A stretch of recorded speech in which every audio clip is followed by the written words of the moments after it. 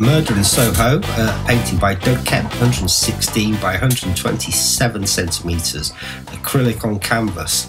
Here we've got uh, uh, some lady running away from somewhere.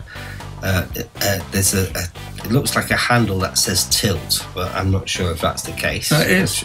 She's wearing a, a, a, a red dress. It's dark, and uh, obviously the murder below. Is he going into a building? What's he doing there? He's just running as well. The, it's a double image, of course, you know, the split down the middle, and uh, she's at the top and he's at the bottom.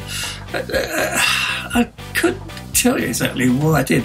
I mean, the logic of you know, the, the, the figures, both figures were you know, taken from you know, magazines and things or your illustrations uh, as, a, starting point. Uh, Tilt is like a little reference to uh, you know, like slot machines and things like that, which you find in Soho. Yeah, well, I used to. I used to, yeah. And, uh, again, it's his. I don't quite couldn't tell you why I put the pattern on, but it's, it's meant to be a shadow or something so, so falling on it. I suppose the slot machines, the tilt, uh, if you're referencing that, because Soho did have those kind of arcade machines. Oh yeah, sure. So, but is he? I, am just wondering, what is he half? Is he the murderer? No. So who? He's just running. So what's the murder then?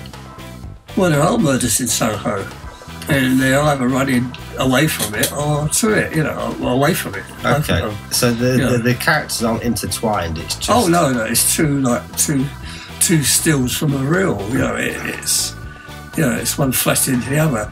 And know, that's why it's, it is uh, just divided down the centre of the painting. Yeah, so the, the murder in Soho is it, it's almost done like police. Yeah, it's, uh, it's not. It, it's not. Yeah, it's not. It's not seen. Yeah. You know, it's happened somewhere else. Yeah.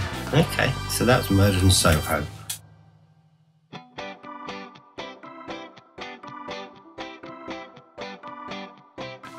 Kemp dot something UK.